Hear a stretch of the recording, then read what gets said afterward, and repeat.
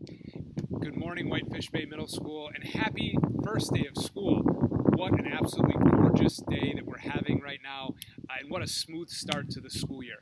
I'm not sure why uh, things went so well this morning. Maybe it was our meet and greet, having that just a couple days before school started but it just seemed like kids knew exactly where they needed to go. They were set up in their lockers already, and it just was a, an incredible start to the day. So thanks for all of your help in, in, in doing that. Thanks to our, our, staff members for helping to make sure everybody had a positive start to the day uh, as well. When you talk with your child tonight, I would be curious, uh, when you talk about the first day, what were some of the things that helped them feel successful this morning?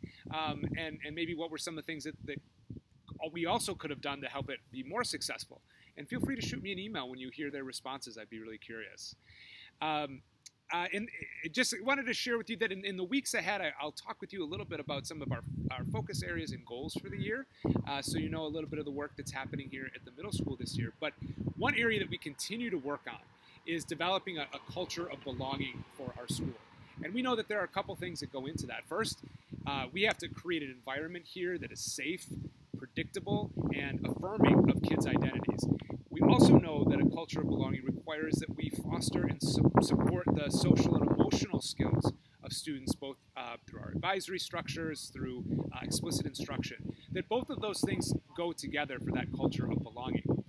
And we're, we're going to be uh, adjusting some of our expectations for kids, reinforcing expectations on the table to help create that type of environment. Um, but one of the ways in which we're doing that this year is really reaffirming our identities as a culture of readers. Uh, we love to read in this school. We know we're in a, in a, in a wider community of public library here. So that's who we are. We read. And so an expectation that we have for kids this year is that you always have at least two physical things that you're reading. Maybe it's your literature discussion group book, maybe it's an independent book, it can be a magazine, a graphic novel, but you always have that with you in your backpack, two things to read. I think one of the things we saw coming out of the pandemic is that one of our defaults when we didn't have anything to do was to pop open our Chromebook and play games. And boy, we try to block those games, but new sites pop up faster than we can do that. So that's just a habit that we're looking that that we saw last year that we want to break this year. So we're telling kids, we're not playing computer games at school. There's never going to be a time that's okay. If you're done early with your math homework or uh, you, you, you think you don't have anything to do, you've always got something to read. So we're going to work on that with kids here. Our English language arts teachers are going to be taking kids, making sure they've got something to read with them. But we're going to ask for your help as well. Uh, ask your child when they come home.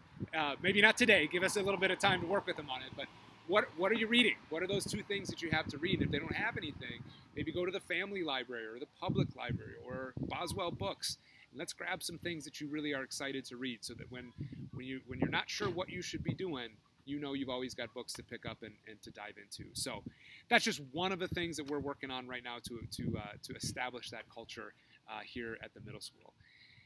I'm really looking forward to this year, everyone. It feels really, really positive here right now. I, I wish you could feel that uh, at, at, home, and, and hopefully your kids bring that energy home with them tonight.